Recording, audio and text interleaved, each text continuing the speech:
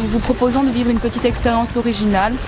Nous avons rencontré la veuve de Maxwell, monsieur le ministre. Je ressens dans votre attitude comme un acharnement envers ma personne. C'est magique, hein, on se demande ce qu'il y a dessous. on se croire au théâtre. En plus c'est confiné, alors ça donne une dimension intime, c'est une très bonne idée.